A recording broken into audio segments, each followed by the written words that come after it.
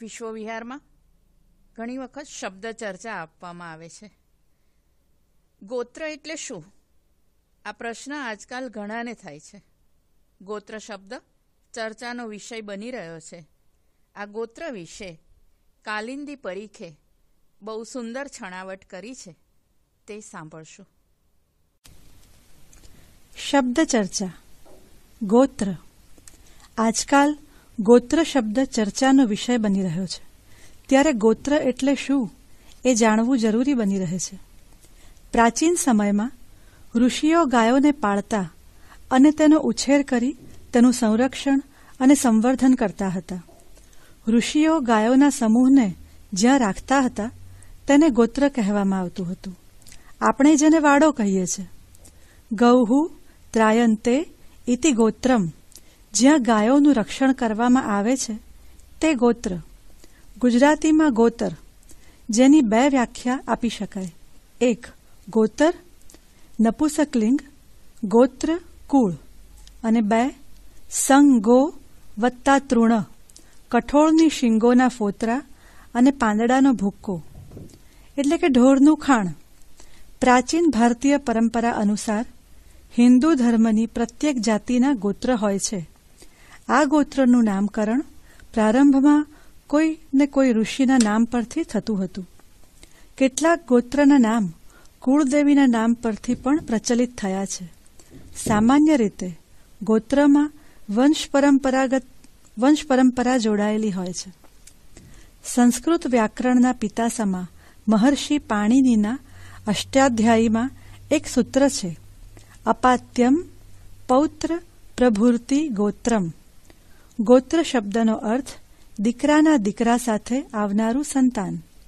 મહાભારતના શાંતિ પર્વમાં આવતા એક શ્લોક મુજબ, એ વખતે ચાર ગોત્ર હતા. અંગીરા, કશ્યપ, વશિષ્ઠ અને ભૃગુ. સમય જતા જમદગ્નિ, અત્રિ, વિશ્વામિત્ર અને અગત્ય ઋષિનું નામ જોડાતા કુલ આઠ ગોત્ર થયા. જૈન મતમાં પણ સાત ગોત્રોનો ઉલ્લેખ છે. આઠ ઋષિઓના નામ સાથે જોડાયેલા આઠ ગોત્રો ઉપરાંત જે તે જાતિઓના ઇતિહાસ અને કુળદેવીઓના નામ જોડાતા નાના મોટા એકસો પંદર ગોત્રો અસ્તિત્વમાં આવ્યા. જાતિ વ્યવસ્થા કડક થતાં ગોત્રનું મહત્વ વધી ગયું. તે વખતે શુદ્રોને બાદ કરતા બાકીના તમામ પોતાના નામ સાથે ગોત્ર જોડતા હતા. ધીમે ધીમે શુદ્રોએ પણ પોતાના નામ સાથે ગોત્ર જોડવાનું શરૂ કર્યું. શુદ્રો જે પરિવાર કે વ્યક્તિની દીર્ઘકાળ સુધી સેવા કરતા તેનું નામ જોડી દેતા હતા. એ કાળમાં ક્ષત્રિય કે વૈશ્ય યજ્ઞ વખતે પોતાના પુરોહિતોના ગોત્રના નામનું ઉચ્ચારણ કરતા હતા. આથી, દરેક સવર્ણના ગોત્રોના નામ તેના પુરોહિતોના ગોત્ર નામ પરથી પ્રચલિત થયા. ગોત્ર બે પ્રકારના છે, માતૃવંશીય અને પિતૃવંશીય. જો કે સમાજમાં પુરુષ સત્તા પ્રચલિત હોવાથી, પિતૃવંશીય ગોત્રો વિશેષ અને મુખ્ય રૂપે પ્રચલિત છે. આ સાથે એ પણ ઉલ્લેખનીય છે કે ગોત્ર કોઈ આદિપુરુષના નામે જ ચાલે એવું જરૂરી નથી. ઘણી જનજાતિઓમાં વિશિષ્ટ ચિહ્નો દ્વારા પણ ગોત્રો નક્કી થાય છે, જે વનસ્પતિથી માંડીને પશુ પક્ષી પણ હોઈ શકે છે. જેમ કે સિંહ, મકર, સૂર્ય, માછલી, પીપળો વગેરે. ગોત્રના નામની ખબર ન હોય તો કશ્યપ કહી દેવાનો ચાલ છે, કારણ કે કશ્યપ ઋષિએ ઘણા લગ્નો કર્યા હતા. તેથી તેમના સંતાનો પણ ઘણા હતા. આ સંતાનો કશ્યપ સાથે જોડાયેલા હતા. વળી દરેક બ્રાહ્મણ સાથે આટલી બાબતો જોડવી જરૂરી માનવામાં આવી છે. અટક, ગોત્ર, પ્રવર, શાખા, કુળદેવી, ગણપતિ, યક્ષ, શિવભૈરવ અને શર્મ. મનુના નવમા પુત્ર નરિષ્યંતની દસમી પેઢીમાં અગ્નિવેશ્ય ઉત્પન્ન થયો. બ્રાહ્મણોનું અગ્નિવેશ્યાયન ગોત્ર એમનાથી ચાલ્યું. ક્ષત્રિય મનુના ચોથા પુત્ર, દ્રષ્ટિનો પુત્ર નાભાગ પોતાના કર્મના કારણે વૈશ્ય થઈ ગયો. પણ એ જ નામથી નાભાગની બારમી પેઢીમાં ઉત્પન્ન થયેલ મરુત ફરી પાછા ચક્રવર્તી રાજા ક્ષત્રિય થઈ ગયા.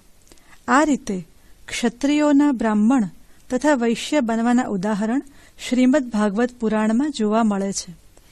અત્રે ઉલ્લેખનીય છે કે ગોત્ર પહેલા આવ્યું અને પછીથી કર્માનુસાર વર્ણવ્યવસ્થા પ્રચલિત બની. આ જ કારણે બધા ગોત્ર બધી જાતિ સાથે વર્ણમાં હોય છે. કૌશિક બ્રાહ્મણ પણ છે અને ક્ષત્રિય પણ છે. કશ્યપ ગોત્ર બ્રાહ્મણ અને રાજપૂત બંનેમાં છે. અને પછાત જાતિમાં પણ છે. વશિષ્ઠ ગોત્ર, બ્રાહ્મણ અને દલિતમાં પણ છે. દલિતો, રાજપૂતો અને જાટોમાં અનેક ગોત્ર છે. સિંહલ ગોત્રીય ક્ષત્રિય વાણિયા બંનેમાં છે. રાણા તંવર ગેહલોત ગોત્રીય જાટોમાં જોવા મળે છે. તેમ રાજપૂતોમાં પણ છે.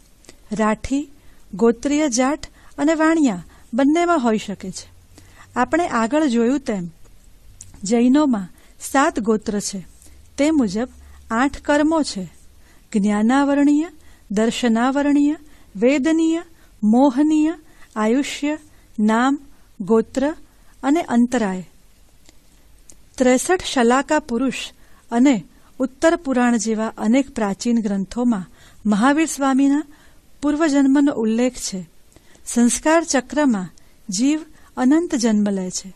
તીર્થંકરોના જન્મકાળની ગણના ત્યારથી થાય છે, જ્યારથી તેઓ સમ્યકત્વ કે તીર્થંકર ગોત્ર કર્મ પામે છે. આ ગોત્રની આવશ્યકતા લગ્ન વખતે ઘણું કરીને હોય છે. સગોત્રીય લગ્નોને ત્યાજ્ય માનવામાં આવ્યા છે. જો કે એક ગોત્રના વરકન્યાનું લગ્ન કરવામાં આવે, તો સંતાનો વિકૃત થતા જોવા મળે છે. આજનું વિજ્ઞાન પણ નજીકના કુળ કે લોહીના સંબંધે જોડાયેલી વ્યક્તિઓના લગ્નથી થતા સંતાનો વિકૃત અને મંદબુદ્ધિના થાય છે તેમ કહે છે. ભાઈ બહેનનો સંબંધ નિર્મળ રહે છે. વિજ્ઞાન અને ધર્મનો સમન્વય થાય છે. ગણેશ પુરાણ મુજબ શિવ પાર્વતીના લગ્ન વખતે નારદજી કહે છે, શિવજીને ગોત્રની કોઈ જરૂર નથી. તેઓ અજન્મા, અરૂપ, નિરાકાર છે. જીવ શિવ બની જાય તો તેને ગોત્રની જરૂર રહેતી નથી. કાલિંદી પરીખ.